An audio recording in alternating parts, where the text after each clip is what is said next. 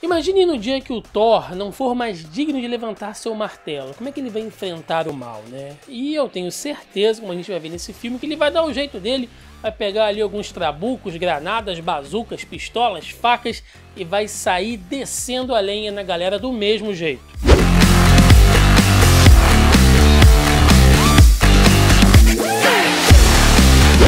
Pessoal, tudo bem com vocês? Como é que vocês estão? Espero que bem, espero que estejam se cuidando aí nesse período de pandemia.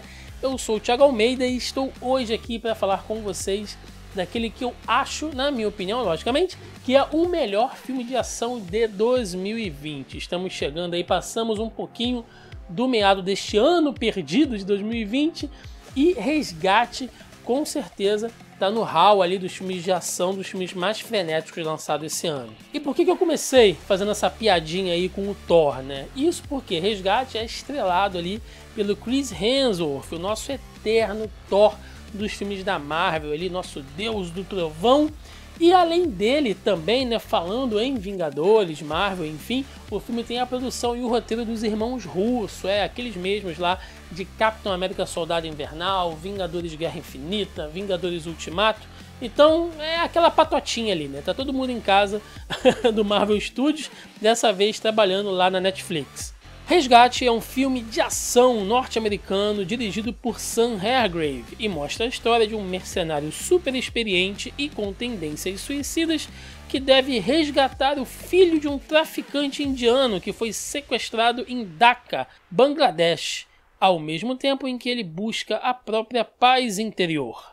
Para a gente definir legal esse filme, eu posso dizer que ele faz parte desse novo conjunto, né, desse novo revival aí de filmes de brucutu. Para quem não conhece o termo, filmes de brucutu são aqueles filmes lá de action heroes com Sylvester Stallone, Arnold Schwarzenegger, enfim, fizeram muito sucesso nos anos 80 e 90, deram uma caída ali no começo dos anos 2000 e nos últimos tempos a gente está vendo ali uma, uma retomada, né? Alguns atores novos e velhos também que estão pegando essa vibe aí, fazendo alguns é, reboots, alguns remakes e alguns títulos novos também, como por exemplo John Wick. John Wick é um ótimo é, exemplo né, desse, desse novo estilo, dessa, dessa nova fase mais atual dos filmes de Brucutu e Resgate também pode entrar nesse meio.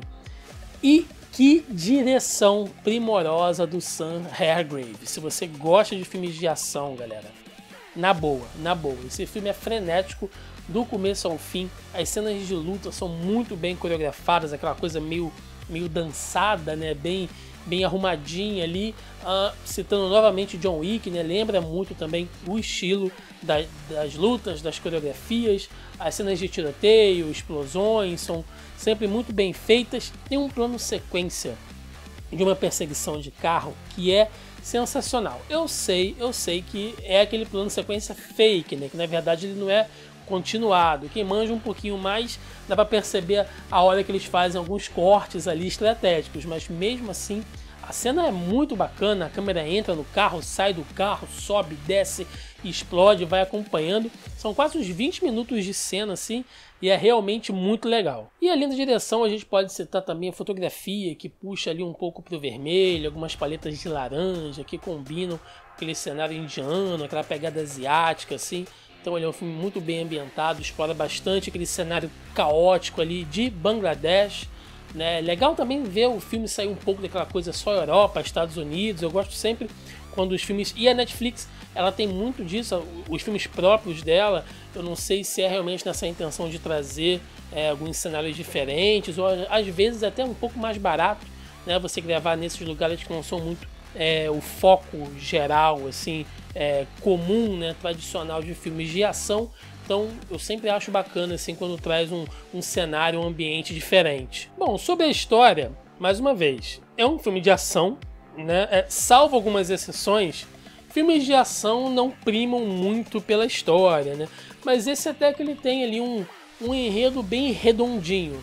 Né? Ah, o personagem, como eu falei, ele é um mercenário, ele tem uma missão que ele precisa seguir, então o filme ele não escapa muito disso. No meio do caminho, a história vai se desenvolvendo, vai se desenrolando. Né? Se você já assistiu, você sabe do que, que eu estou falando, senão não vou dar spoiler aqui. As motivações do personagem mudam e o próprio personagem do Chris Hemsworth, né? o Tyler, ele tem um misto assim de ser um cara com essas tendências suicidas, porque ele já passou por algumas dificuldades na vida dele, uh, ele tá meio desiludido com as coisas. O próprio trabalho dele é um trabalho né, que mata pessoas, então você vê que ele tá meio cansado, tá meio saturado, mas uma parte dele não quer se entregar também.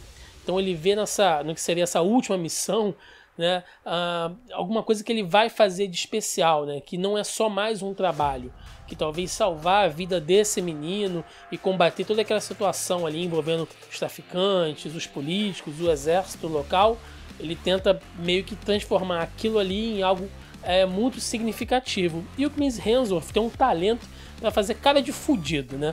A gente viu lá no Vingadores Ultimato, quando ele vem naquela versão do, do Thor que perdeu o martelo, que né, deixou todo mundo na mão lá em Vingadores de Guerra Civil. Ele vem com aquela cara meio triste e tal, meio, meio tristonho. E nesse filme ele pega um pouco disso, né? Você vê que é um cara que tá sempre amargurado, que não tá tranquilo.